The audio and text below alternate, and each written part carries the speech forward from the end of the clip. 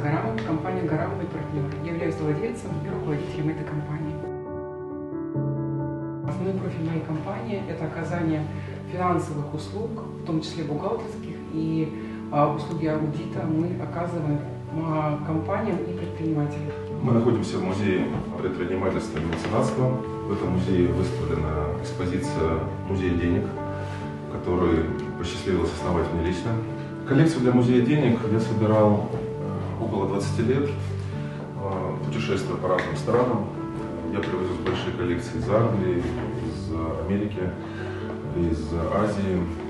И в 2010 году уже открылся музей денег, отдельная структура, которая занималась не только экспозицией интересных денежных знаков из 200 стран мира, но и э, поставила перед собой задачу повышения финансовой грамотности и популяризации предпринимательства и бизнеса. Меня зовут Ирина Балута, и я финансовый психолог.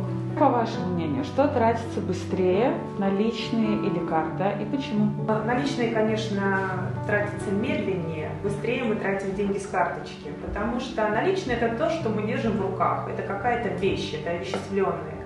А то, что на карте, это наше представление, наша иллюзия, и поэтому часто люди не отслеживают, сколько денег ушло. Когда у вас закончились деньги в одном из конвертов, например, на продукты, да, мы прекращаем копать себе яму, мы перестаем как бы, залезать в новые долги, мы не берем новые кредиты в банке, ни в коем случае для того, чтобы перекредитоваться. Мы начинаем как бы выбирать проекты. Все, в другие конверты ваши фонды вы не залезаете. Например, вы хотите поехать в путешествие, а у вас в фонде путешествия там только там 5 тысяч рублей, а путешествие стоит 30 тысяч рублей, вы смотрите в соответствии с вашей системой распределения, сколько вам нужно заработать, чтобы в конвертике а, путешествия появилось 30 тысяч рублей без ущерба вашей системы распределения по другим фондам. Важен процесс э, фондирования, то есть иметь какие-то защищенные статьи расходов и доходов.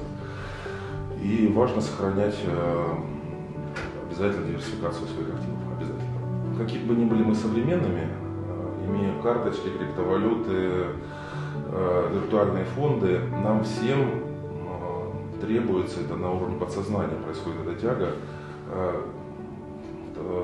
потрогать то, что мы считаем средством накопления, средством платежа, потрогать, пощупать, визуализировать.